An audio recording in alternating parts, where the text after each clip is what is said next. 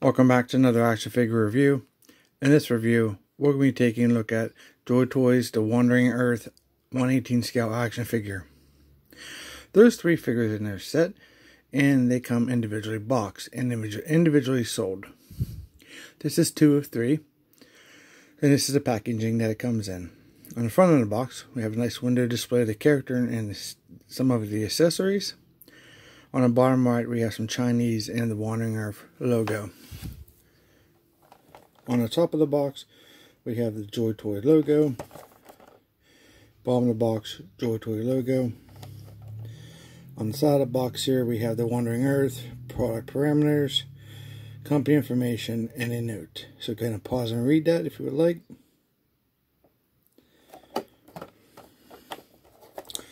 On the side of the box, we have warnings for drinking hazardous small parts for ages under 3. These are recommended for ages at least 15 and up. We have the Wandering Logo logo there, and the Chinese, the UPC, and some other symbols on the bottom left there. These are coming in a pretty nice box. Flexible plastic, pretty cool. slide this out. Let's set the box aside. As most Joy Toy figures, we have a product insert.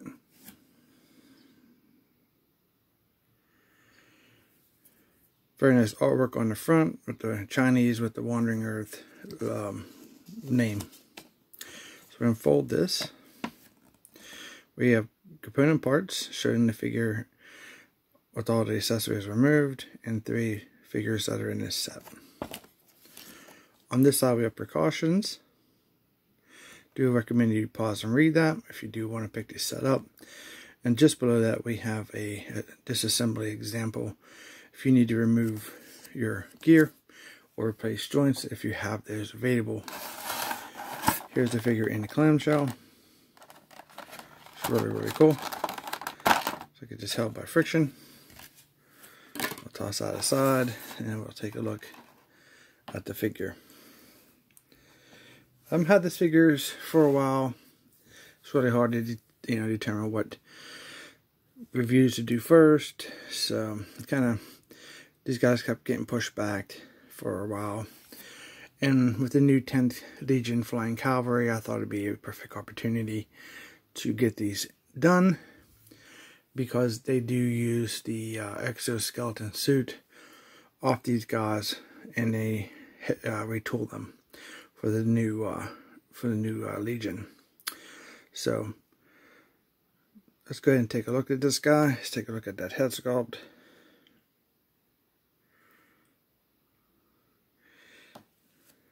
Very nice. Like I said, these are all a Wandering Earth movie, which is done in Chinese, unfortunately. I don't, I'm not aware if there is a English dub version, but you would have to read the entire movie if uh, you would like to see it. It looks like it'd be a pretty good movie. I kind of shy away from it because I don't want to read a two-hour movie. It's not because I'm lazy. It's just uh, it's the idea of pausing it and then trying to catch up on it. So sometimes the uh, dialogue goes pretty quickly, and then you want to uh, pause and try to catch up on the storyline. You can see with this head, he has shaved there around the side of his head, around his ears combed over to the side. Nice head sculpt. As you can see, the eyes are pretty good. I'm not sure if you're aware, but those are water slide decals that they use for the eyes.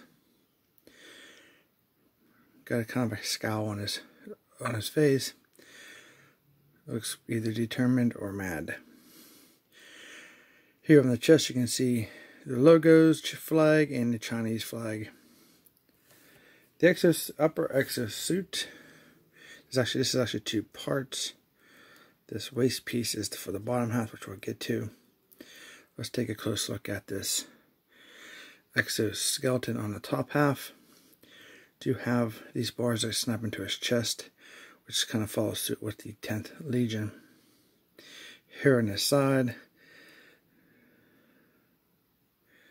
we do have articulation here, articulation right there and these kind of just push over the arms so you don't have to remove the hands on these guys you just have these like C shapes that just snap right over like this. So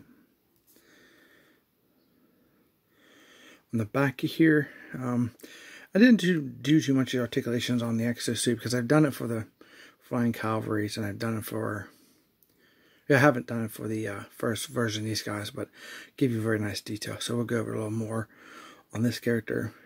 Articulation here, articulated there. Very nice. Don't have articulation here. There's like a little slit here that this pulls out of, so you can see. And it goes right back in, so that's articulated also. We get out of that close-up view right there. Goes right back in. I really thought they would have done a different backpack because you don't have the minigun box here that you don't need for the armature. But I guess it's cheaper just to rehash the same parts so you don't have to get new molds and run a production run for a new set of figures. So this is pretty much going to be pointless this piece here unless you want to swap out miniguns between your characters. Articulation here, articulation here, articulation here. On the other arm, articulation there, there. Pretty cool. These front pieces here have articulation here, here, here, and here. Let's go take a 360 look at that uh, armor, up armor, before we move on. There's a nice silver here that breaks up the coloring. I do love these gloves. They look fantastic. The amount of paint and detail on them, my opinion, looks very good. Silver here on the back. Some silver dots here. Silver, silver, silver. Very nicely done. I do like, I like to have a whole exoskeleton done in a silver black wash. I think that'd be very cool could be a good idea for a custom. Alright, so that is the upper half of that suit. Let's go ahead and take a look at the bottom half of this exoskeleton here. So we have a belt that goes on his waist. Then we have these pistons here come down. It's articulated right here. Articulated here, here. And we have those C clips that go around his ankles. As you can see, it moves very well. Both sides are the same.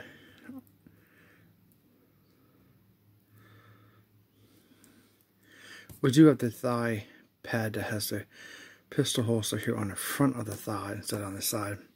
Technically, probably could have put a joint here, but I don't know if that could be an aesthetic from the movie.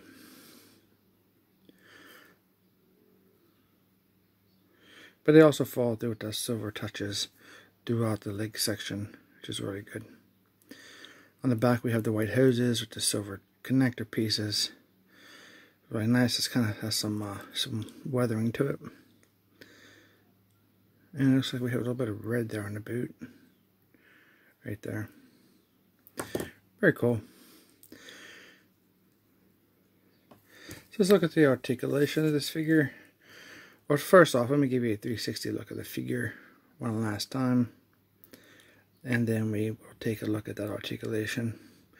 And then we'll go ahead and get into the accessories and see how those work out for him and how they work, you know, with holding them. And uh, that helmet is one of my favorite pieces. I think you guys will enjoy the review for that helmet at least. Okay, for the head, it does move side to side. You just go back a little bit. It does look down. This is a two piece, so most of that movement was coming from the, the lower neck part. And then the head is on a ball, which is usually 60, but what's happening right now is that's the neck piece moving. You really have to try to get a hold of that neck so you can utilize the joint on the upper part of the neck. But it will get you a wide range of motion that you commonly expect or want in a uh, premium figure. Now the shoulder joints are the ball joints, they will rotate 360, but you're going to have to remove all the gear if you want that feature. There's um, 360 rotation here in the elbow, but you're not going to get it because this this apparatus here. But there is an elbow bend, and the apparatus does work with the um, bend of the elbows. It will get you 90 degrees. So that looks really good. Follows suit. Very nice. For the hands, uh, they rotate 360 all the way around. And this one here goes down and up. This one's also 360 rotation, but this one will do the in and out of, uh, so for your, if you want to hold a gun with two hands. As you can see, there is chest articulation here. You can turn them sideways on both sides. There is an ab crunch. And back some, not too much though. And it rotates 360. If you remove all the uh, gear here on the lower level, kind of gets in the way. So we have a, when you spread the legs, you can see what happens to the uh, belt garment piece. It rises up, gets you about that far. not too much with this because you can see the, that this is stretching. So to be careful. You don't want to break that. These are uh, small, thin pieces. They're not cheaply made, but they're uh, definitely um, possibly break. Do we have thigh rotation? We have uh, double jointed knees on both legs. Looks good. And then we have uh, for his feet, they do pivot down. They do pivot up, back to stationary. Um, we have a little bit of side-to-side -side motion. You can get the foot a 360 rotation all the way around if you desire. It's kind of awkward when you do it. Kind of kind of rotates around the ball. Overall, this is a nice figure. Um, there's a lot going on in this figure. So you're definitely going to have uh, some hindrance in your uh, posability because on this guy that I have, the first one I did, this when I bring this arm across for holding the uh, actual weapon, this piece is popping off. It doesn't have the doesn't seem to have the ability to uh, stay with the arm after a certain distance is reached. So let's take a look at uh, his accessories. Here we have a small pistol. So this is the same pistol that came with the first character. Very unique. Probably straight out of the movie, not sure. It's black plastic. See, hands are very soft. So you can get the gun in pretty good. It's nice trigger finger there. So it gives us some realistic um, poses and an overall look.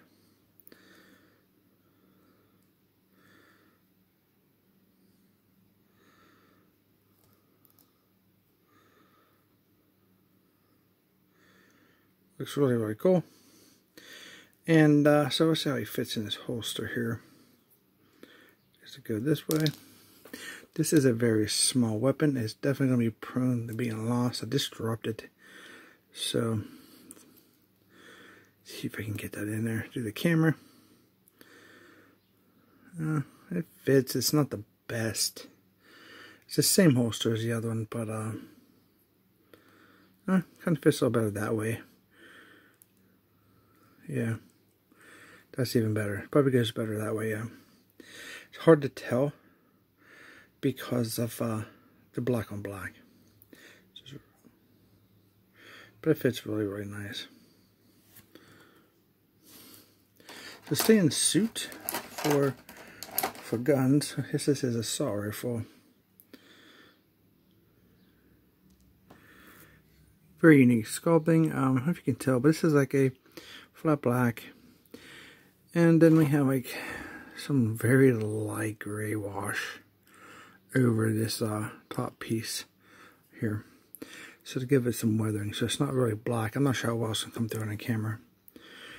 So we have our clip in the back. We have a little scope or maybe red dot sight submachine gun type weapon. Uh, I don't know how well he's going to hold this. I mean,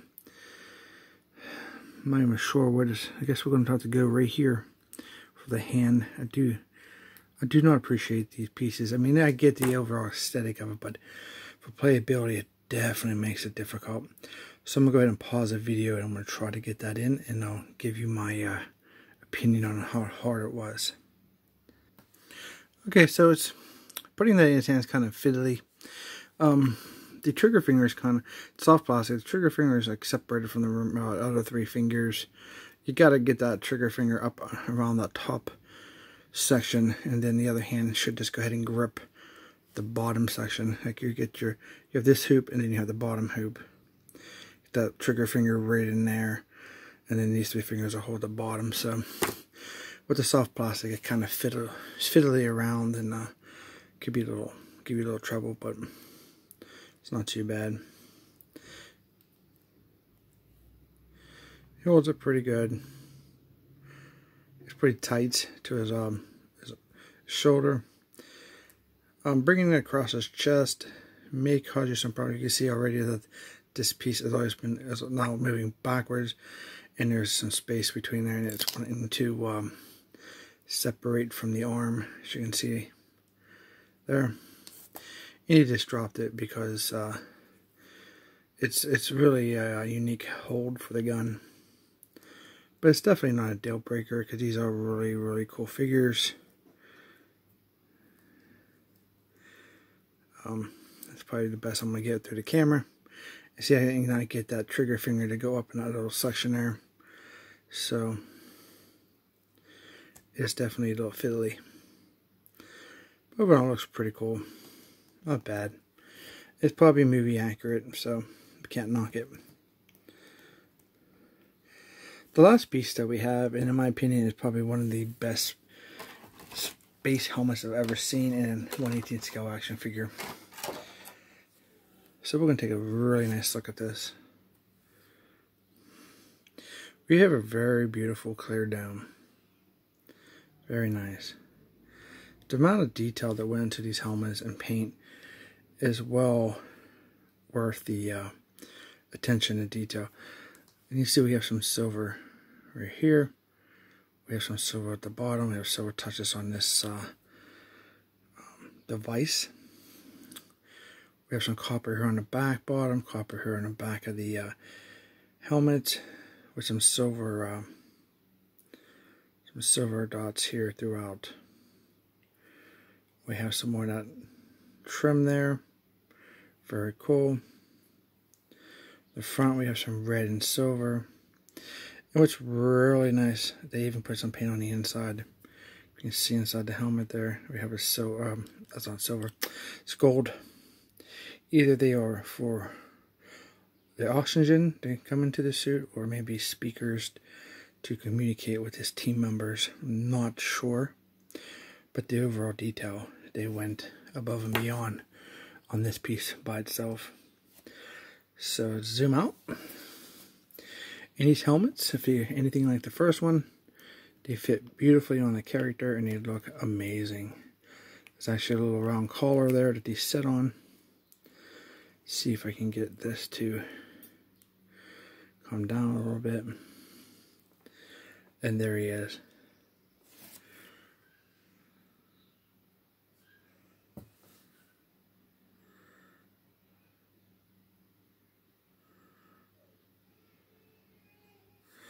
Looks very, very nice.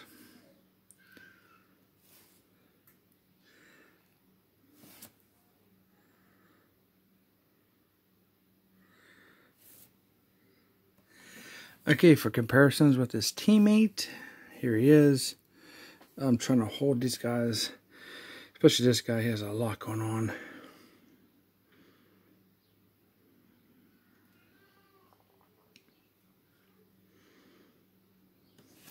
I'm going to set him down for one second so I can get a better uh, hold on these guys so you guys can see the back of them. Don't stuff falling off. As you can see on the back, they are the same. Um, that's why we have this extra box right here that's not even necessary. So I was thinking that maybe they saved a little bit and not added that piece. But they went ahead and added it anyway. So this gives you the option if you want to take this load out and put it on this character if you like this character better. But uh, I was uh, a little surprised that he had those extra pieces that wasn't relevant to the character.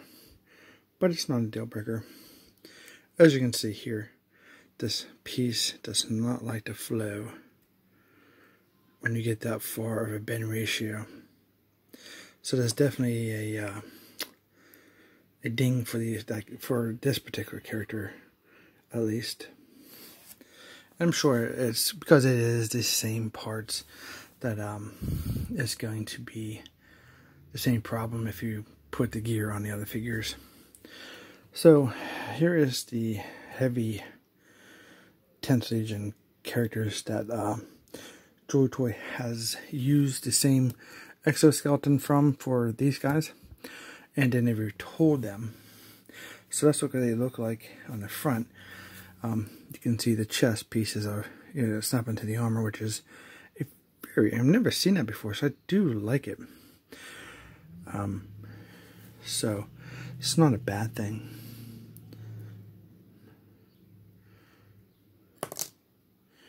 And not just gun out of his hand. But I will say that the uh, armor, the armor on the arms are been are different. They are retooled and they stay better. Like I can get his arm across here, see how his arm's almost the same position, but that um, arm exoskeleton part re remains in position. So they definitely improved on it, in my opinion. Um, turn these guys around real quick. So you can see the back of them. And guess what? This just lost this gun too. Guess they surrender. Let me go ahead and take off these uh, jetpacks so you can see uh, how retooled they are on the back of these guys. This guy has become like my 2021 favorite figure so far. So so you can see that they're not just basically a, a reuse parts. There are reuse parts here. You can see here, here, um, and here. Um, but this entire section and this armature here does not just like sit inside the backpack and it'll slit. It is definitely connected to the back of that jetpack. So very nicely done, retooled for the 10th Legion Cavalry. So it's going to give you some nice versatile in your loadouts. So um, these are very, very cool overall, I do recommend them. You're a big fan of Wandering Earth, there you are probably the, I haven't seen, I don't know, there could be a different scale figures, but for 118 scale, I don't think there's any other ones out there that I know of. If there is, please feel free to comment below, let us all know. And uh, that we have options to, to buy other figures. For retail price, the minigun character, if you buy him by yourself, you're looking like 50 bucks. If you buy the other two characters, they're around $30, $35. So, the best option, uh, if you do want all of them, just to get them in the set, because if you buy two, you're going to pay the same price for you know this guy and this guy that you would pay for all three with the additional third member. So you might as well just pick them up for you know getting more for your money. But of course, it's your option. But I do like putting out the information for you guys to make you know your decisions. So I hope you guys enjoyed this review and this look at this Wandering Earth character. If you did, please consider subscribing. Thanks for watching, and we will see you in our next review.